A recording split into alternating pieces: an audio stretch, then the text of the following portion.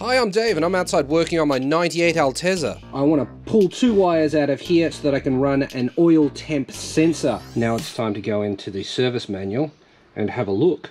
So according to this, we've got the throttle position sensor here and the blue and yellow wire connects over to the accel position sensor. So this blue and yellow wire which is this one here, that will be 5 volts for our sensor. We need our sensor ground, which I think will be one of these brown ones here. If we pull that through, that'll give us our sensor ground. Now you need to choose what AN volt input you're going to use. If you're like me and have ITBs, then chances are the accel position sensor and the airflow meter are gone. In that case, you can use the red wire from the airflow meter or either the green and black or the blue and white from the APS. If you're not running ITBs and you still have all the standard equipment, I'm pretty sure you're going to need to buy the XS expansion loom, XSL, this thing here. And then I'm pretty sure what we're doing here won't apply to you. Those are the three wires we need for an oil temp sensor. Now we need to connect a pull-up resistor between these two. Don't get confused, a pull-up resistor is just a resistor, in this case, 1000 ohms. It could be down the end, it could be up the top, it doesn't matter. Yep, we're going in here again. You've seen me do this before, it's just continuity. You always want to double check. I've got that soldered on. You need to join the resistor between your 5 volt line and your AN volt line for the sensor to function. After you have your 5 volt line connected to the resistor and the resistor connected to your AN volt line, you need to connect your AN volt line and your sensor ground to the sensor. In my case, the brown wire and the red wire, both from where the airflow meter used to be. This thing just works on resistance, so it doesn't matter which side you put to what. There are a few blocked off ports around the oil filter that you can use for your sensor. I'm using this one. Be aware that you may need an adapter. You're to need a size 8 Allen key. Also be aware that this may be extremely tight. Well, I don't know what the torque setting for this is, but I guess it's um, just going to be fucking tight. I'm going to use some of this Permatex thread sealant, 14 millimeter.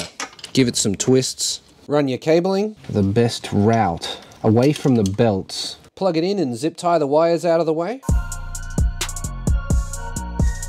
But it doesn't end there. You still have to set it up in the software. This tune I have here was sort of sculpted by someone for me from the basic OEM Altezza tune that Link offers for free. So we're going to go to ECU settings on the side here and click analog inputs. Now you might remember earlier I said that we used AN Volt 4. Well, AN Volt 4 isn't specifically for a temp sensor like the AN temp channels are. As you can see, the software shows four temp channels available. One is for coolant temp, Two is for intake air temp. Three is ambient air temp. I'm not sure what the ECU would do if you reassigned that, and it's nice to have all the OEM functions, so we'll just leave that alone. And 4 is only actually available with the add-on cable that Link sells. So we turned AN Volt 4 into a temp channel when we added that resistor. Now, why did you choose AN Volt 4?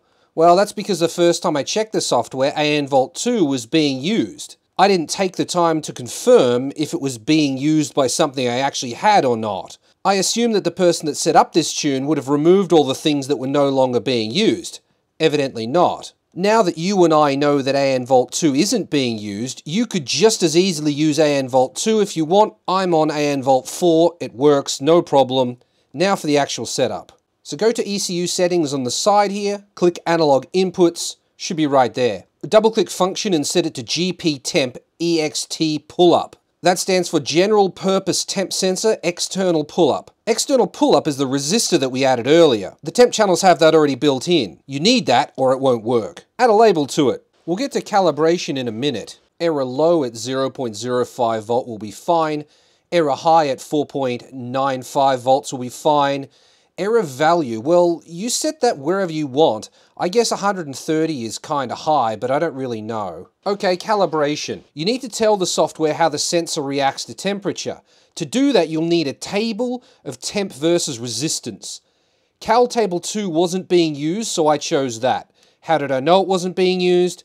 Go to ECU settings, then analog inputs, and click the Cal table you want to look at. Anyway, okay, Cal Table 2. Label it, Input units needs to be ohms. Output units could be Celsius or bald eagles, up to you.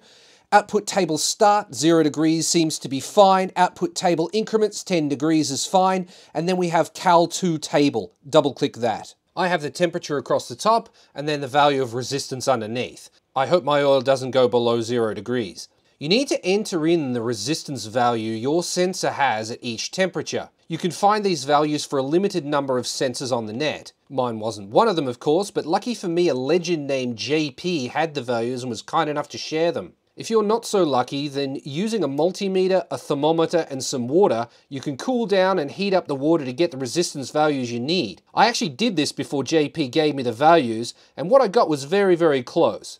It's quite difficult because the temperature is always moving and trying to see the temp and resistance at the same time can be tricky. But it can be done. Thanks again to JP. And after you've done all of that, hopefully you should have a working oil temperature sensor connected to your Link ECU. Now you need to display the thing. So right click on some open space on the screen and then click new view. Then choose what kind of gauge you want. Let's go with a dial gauge. Click analog inputs Scroll down to AN4 and double click it. That will make it show up on the right over here. Click OK. And there's your gauge. Drag it wherever you want, resize it how you want, and uh, enjoy.